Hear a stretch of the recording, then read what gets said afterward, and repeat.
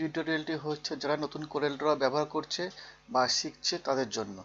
আজ আমি পাঁচটি টিপস নিয়ে এসেছি যেটা জানা আপনাদের খুবই প্রয়োজন। আসুন, সময় নষ্ট না করে শুরু করা যাক। যদি কোনো রেক্ট্যাঙ্গেলের যে কোনো দুটি বা একটি কোণা রাউন্ড করতে হয়, একটু ডিজাইনিং রাউন্ডেড শেপ তৈরি করতে হয়, তাহলে আমরা কি করব? আর কি শর্টকাট ব্যবহার করব আর কীভাবে তৈরি করব সেটা আসুন দেখা যাক।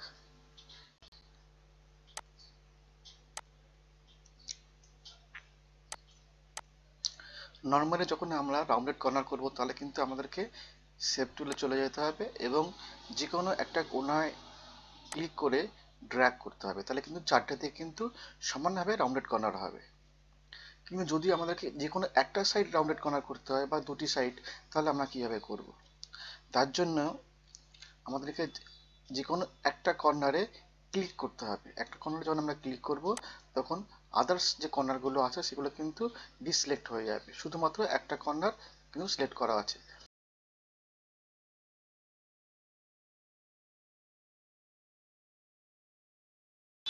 যদি আমরা যে কোনো দুটি কর্নার রাউন্ড করতে চাই, তাহলে কি করব? তাহলে আমরা যে কোনো একটা কর্নারে ক্লিক করব এবং শিফট শিফট কি প্রেস করে আমরা আদার্স কর্নার যেটা যেটা আমরা চাই রাউন্ডেড কর্নার করা হবে, সেখানে আমরা ক্লিক করব। দুটো কর্নার যখন আমরা ক্লিক হয়ে আছে, তখন কিন্তু আমরা এটাকে যে কোনো দুটো কর্নারে কিন্তু রাউন্ডেড হচ্ছে। যদি মনে করি যে আমাদের চারটি কর্নারে রাউন্ডেড হবে এবং দুটি কর্নার বেশি রাউন্ড হবে, সেক্ষেত্রে আমরা কীভাবে করব? তার জন্য আমাদেরকে প্রথমে একটু রাউন্ড করে নিতে হবে। এর ফলে কি? চারটে কর্নারে কিন্তু আমাদের সমানভাবে রাউন্ড হলো। এবার যে কোনো একটা কর্নার আমরা ক্লিক করব এবং শিফট চেপে আদার্স কর্নার ক্লিক করব এবং এই দুটো কর্নারকে আমরা একটু বেশি রাউন্ড করে দেবো। ফলে দেখতে পাচ্ছি যে চারটি কর্নারে রাউন্ড করা আছে, কিন্তু দুটো কর্নার বেশি রাউন্ড করা আছে আর দুটো কর্নার কম রাউন্ড করা আছে। যারা একটু ওল্ডার ভার্সন ইউজ করে, যেমন কোয়েল ফোরটিন থার্টিন টুয়েলভ তাদের কিন্তু একটা সমস্যা হয়। কি সমস্যা হয়? যে কোনো সময় যদি রাউন্ডেড কর্নার করা থাকে এবং সেটাকে যদি আমরা স্ট্রেচ করি মানে বাড়াই বা কমাই, তাহলে কিন্তু একটা এরর আসে। কীরকম এরর আসে? এই কোরেল ফোরটিনটা খুলে আমি দেখাচ্ছি। যদি আমি কোরেল ফোরটিনে একটা রেক্টেঙ্গেল তৈরি করে এটাকে আমরা রাউন্ডেড কর্নার করলাম। এবার যারা বিল করেন বা চালান করেন বা মানি রিসিভ করেন তাদের ক্ষেত্রে এই সমস্যাটা বেশি হয়। এবং এটাকে যদি আমরা টেনে বড় করি, তাহলে রাউন্ডেড কর্নারের শেপগুলো কিন্তু নষ্ট হয়ে যাচ্ছে। এটা কিন্তু শুধুমাত্র ওল্ডার ভার্সনের জন্য। তো এইটা থেকে কীভাবে আমরা এটাকে কীভাবে আমরা সলভ করব, তার জন্য কিন্তু একটা উপায় আছে। সেটা হচ্ছে যখনই আমরা এটাকে বড় করার দরকার পড়বে তখন কিন্তু এটাকে আমরা কনভার্ট টু কার্ভ করে নেব। আমি এটাকে অ্যারেঞ্জে গিয়ে কনভার্ট টু করে নিলাম। এবার আমরা কি করব? এই সেভ টুলে গিয়ে আমার তলার এই পোর্শনটাকে সিলেক্ট করব। করার পর যেটুকু আমাদেরকে বাড়াতে হবে, এটাকে আমরা কন্ট্রোল প্রেস করে বা শিফট শিফট প্রেস করে এটাকে আমরা শিফট প্রেস করে এটাকে আমরা নিচের দিকে নামিয়ে দিতে পারি। ফলে কি হবে যে এটাকে সমানভাবে কিন্তু কর্নারটা কিন্তু কোনো রকম ডিস্টার্ব হবে না। আমরা দেখেছি, যখনই আমরা কোরেল ড্রতে কোনো ফাইল ওপেন করি সবসময় ফাইলের প্রথম পেজটি বাই ডিফল্ট ওপেন হয়। এর ফলে শেষের পেজে যাওয়ার জন্য আমাদের কিন্তু পেজ স্ক্রল করে যেতে হয়, কারণ শেষের পেজে কিন্তু আমাদের শেষ কাজটি করা থাকে। তবে একটি স্টেপ যদি আমরা মেনে চলি, তাহলে কিন্তু আমাদের এই পেজ স্ক্রল করে কিন্তু আর শেষের পেজে যেতে হবে না। শেষ কাজটি কিন্তু সবসময় আমাদের প্রথম পেজেই থাকবে। আসুন দেখা যাক কীভাবে করব। এটা একটা রেগুলার ফাইল যার মধ্যে অনেকগুলো কাজ করা আছে, ঠিক আছে? এক নম্বর পেজ দু নম্বর পেজ সব পেজের মধ্যে কাজ করা আছে, ঠিক আছে? কিন্তু আমরা কি করি সাধারণত? আমরা করি কি পেজ ইনসার্ট করি? আর পেজ যখন ইনসার্ট হয়, সেগুলো সবসময় হয় আফটারে করে। বাই ডিফল্ট যেহেতু আফটার করা থাকে, সে সময় পেজগুলো কিন্তু সবসময় আফটারে ইনসার্ট হয়। এবং আমরা একটার পর একটা পাতায় কাজ করে করে করে আমরা শেষের দিকে যেতে থাকি। যখন আমরা পরের দিন পাতাটা এই ফাইলটা খুলবো, তখন কিন্তু আমাদেরকে সবসময় প্রথম পেজটাই কিন্তু ওপেন হয়। এবং আমাদেরকে কি করতে হয় না স্ক্রল করতে হয়। গিয়ে একদম শেষে যে গিয়ে আমি আবার কাজ করতে শুরু করি। যেমন এখানে আমরা শেষে গেলাম, গিয়ে দেখলাম যে এটাকে থার্টি ওয়ান পেজ অবধি কাজ করা আছে। সুতরাং আমরা থার্টি টু পেজে কাজ শুরু করে দিই। এর ফলে কি হয়, যখন আমি পরের দিন আবার ফাইলটা খুলি, তখন আবার এক নম্বর পেজে চলে আসে এবং আমাদেরকে আবার স্ক্রল করতে হয়। কিন্তু যদি এমন হতো, যদি আমার এমন হতো যে আমাদের শেষ কাজ করাটা সবসময় প্রথম পেজেই থাকতো, তাহলে কি হতো? আমাদের আর স্ক্রলিং করতে হতো না। কি করতে হবে? এটাই করতে হবে যে আমি আবার ফাইলটা ক্লোজ করলাম, করে আমি এটাকে ওপেন করছি, ঠিক আছে? ওপেন করার ফলে কি, এটা আমি এক নম্বর পেজ শো করছে, তখন আমরা, যখন আমরা পেজ ইনসার্ট করব, যখন আমরা page page page down click করলাম যেমন পরে পরে চলে যাচ্ছে, যখন আমরা পেজ ইনসার্ট করব, তখন আমরা সবসময় কি করব?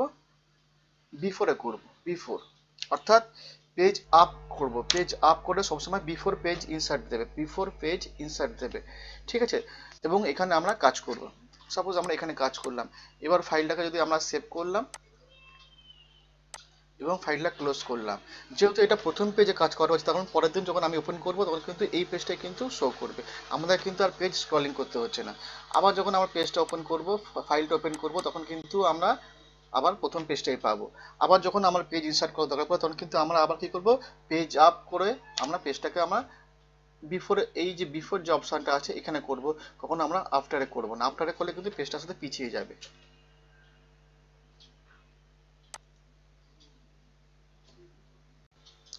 বাংলা বা ইংরেজি টাইপ করার সময়, কোনো কোনো সময় ওয়ার্ড কিন্তু অটোমেটিক চেঞ্জ হয়ে যায়, বা কোনো কোনো সময় কিন্তু অক্ষরই আসে না। এই সমস্যা দূর করার জন্য আমাদের কি করতে হবে? আসুন দেখে নিই।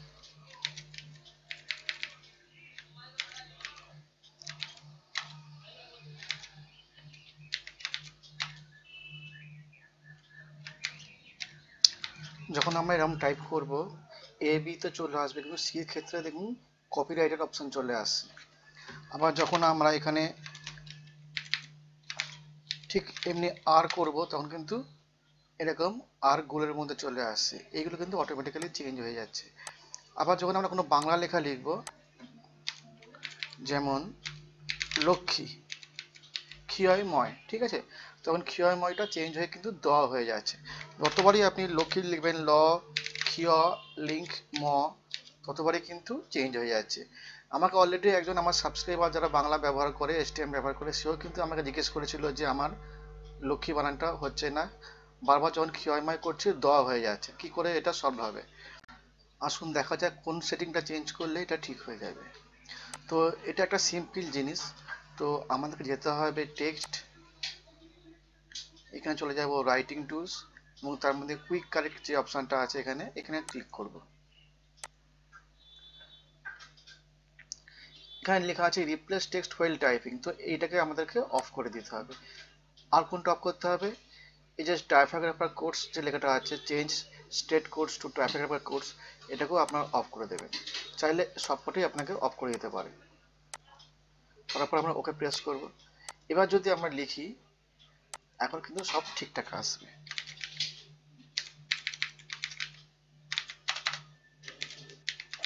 আর কোনো রকম কোনো চেঞ্জ কিন্তু হবে না। এবং বাংলা লেখার ক্ষেত্রেও কিন্তু কোনো চেঞ্জ আসবে না। যেমন, আমরা যদি সেম আবার লক্ষ্মী বানানটা ইউজ করি, কিয়, লিঙ্ক, ম, দেখতেই পাচ্ছেন যে একদম পুরোপুরি ঠিকঠাক আসছে কোনো চেঞ্জ নেই। তাহলে শুধুমাত্র আমাদের যেতে হবে text writing tools quick correct গিয়ে আমাদের এই রিপ্লেসমেন্ট টাইপিং যেটা আছে রিপ্লেস টেক্সট ওয়াইল টাইপিং এটাকে অফ করে দিতে হবে, এই দুটোকেও অফ করে দিতে হবে।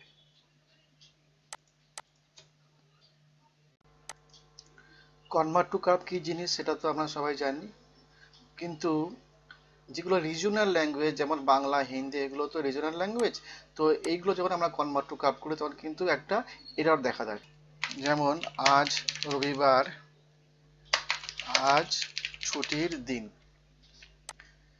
যখন এটাকে আমরা কনভার্ট টু কার্ভ করব, তখন কিন্তু একটা সাদা অংশ দেখা যাবে। দেখতে পাচ্ছেন যে এই জায়গাগুলোতে সমস্ত সাদা সাদা হয়ে গেছে। তো এইগুলো থাকলে কিন্তু আমাদের যখন এটাকে ডিজিটাল হয়ে আসবে বা পেপারে প্রিন্ট আউট যখন দেবো আমরা, তখন কিন্তু এই সাদা অংশটুকু রয়ে যাবে। তো এটাকে কীভাবে আমরা সলভ করব? এটাকে সলভ করার জন্য কিন্তু আমাদেরকে অনেকগুলো উপায় আছে, তার মধ্যে যে যেগুলো আপনাদের সাপোর্ট করবে সেগুলো আপনারা করতে পারেন। যেমন যদি আমরা এটাকে কনভার্ট টু কার্ভ না করে এটাকে অবজেক্ট গিয়ে আমরা এটাকে ওয়েল্ডিং করে দেব। শেপে গিয়ে এটাকে আমরা ওয়েল্ড করে দেবো। শেপে গিয়ে আমরা এটাকে ওয়েল্ড করব। তাহলে কিন্তু দেখুন যে এটা কিন্তু কন্ট্রো কার্ভই হয়ে গেল, এটা কিন্তু ফন্ট মিসম্যাচ করবে না, কিন্তু এটা কিন্তু সাদা অংশটা কিন্তু আর নেই। আর কীভাবে করতে পারি? আর যেটা করতে পারি সেটা হচ্ছে যে এটাকে আমরা এক্সপোর্ট করতে পারি। মানে এটাকে আমি সিলেক্ট করলাম সিলেক্ট করে ফাইলে গিয়ে আমরা পাবলিশ টু পিডিএফ এ ক্লিক করব। পিডিএফ এ ক্লিক করার পর ডেস্কটপে একটা নাম দিয়ে সেভ করব, যেমন এসএইচ এসএইচ দিয়ে এটাকে আমরা সেভ করলাম, ঠিক আছে? তো এটাকে যখন আমরা ইম্পোর্ট করব as a convert to curve অবস্থা আমরা এটাকে ইম্পোর্ট করব কার্ভ অবস্থায় ইম্পোর্ট করব, তাহলে কিন্তু এটা কার্ভ অবস্থায় কিন্তু ইম্পোর্ট হলো উপরে কিন্তু সাদা অংশ থাকবে না। দেখতে পাচ্ছেন যে কোনো সাদা অংশ নেই, কোনো রকম কোনো প্রবলেম নেই। অথচ যদি আমরা এটাকে ডাইরেক্ট আমরা কনভার্ট টু কাপ করি, তাহলে কিন্তু এটার একটা এরর দেখা যায়। এই যে।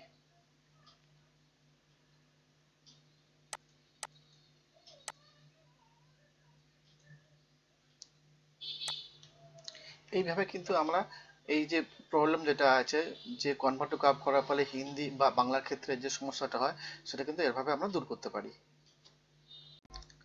আমার শেষ আর পাঁচ নং টিপসটি হচ্ছে যে কাজের সুবিধার জন্য একটা সেটিংস করে নেওয়া। যেমন যেমন ধরুন আমাকে রোজ যদি কোনো একটি বা দুটি কমন ফন্ট নিয়ে কাজ করতে হয়, যেমন এরিয়াল বা টাইমস নিউ বা নির্দিষ্ট একটা সাইজ নিয়ে কাজ করতে হয়, যেমন এগারো পয়েন্ট বা বারো পয়েন্ট তাহলে আমরা সেই ধরনের একটা সেটিংস করে নেব। যেমন বাই ডিফল্ট যখন আমরা কোনো কোরেল ড্র ফাইল খুলি, তখন কিন্তু ওরা একটা চব্বিশ পয়েন্ট দেয়।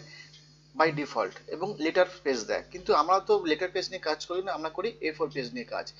আবার ওরা যে লাইনের যে সাইজ দেয় লাইনে উঠ দেয় পয়েন্ট ফাইভ দেয়। যেমন যদি কোনো সময় কোনো লাইন নিয়ে আমরা কাজ করি, যেমন একটা রেক্টেঙ্গেল টানলাম, তো এর, এখানে দেখতে পাচ্ছি যে পয়েন্ট ফাইভ সাইজ কিন্তু আমরা জানি যে পয়েন্ট ফাইভ খুব পাতলা হয় এবং আমরা কেউই কিন্তু পয়েন্ট ফাইভ ব্যবহার করি না। আমরা কি ব্যবহার করি না এক কিংবা একের বেশি সাইজ আমরা ব্যবহার করি। বিশেষ করে আমি কিন্তু যখন কোনো লাইন দিই তখন ওয়ান পয়েন্ট থ্রি ব্যবহার করি। তো এই সমস্যাগুলো বাই ডিফল্ট আমরা কীভাবে করব? তার জন্য কিন্তু কি করতে হবে আমাদেরকে? আমাদেরকে করতে হবে যে যে জিনিসগুলো আমাদের দরকার সেগুলো কিন্তু এই ফাইলটার মধ্যে থেকে করে নিতে হবে। যেমন এটাকে আমি চাইছি লেটার থেকে এ করে নেব। ঠিক আছে?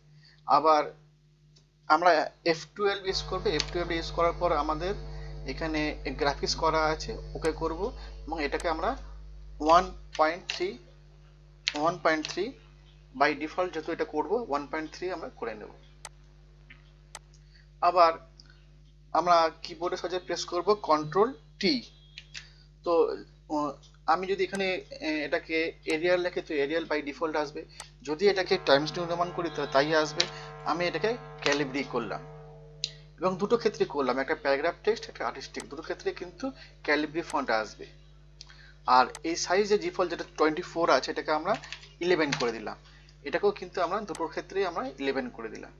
তাহলে যখনই আমরা কোনো নতুন ফাইল খুলবো, সেটাকে আসবে এ ফোর পেজ তার লাইনের উইথ হবে ওয়ান পয়েন্ট থ্রি তার ফন্ট সাইজ হবে ইলেভেন এবং তার ফন্ট নেম হবে ক্যালিব্রি করার পর এটাকে আমরা কি করব?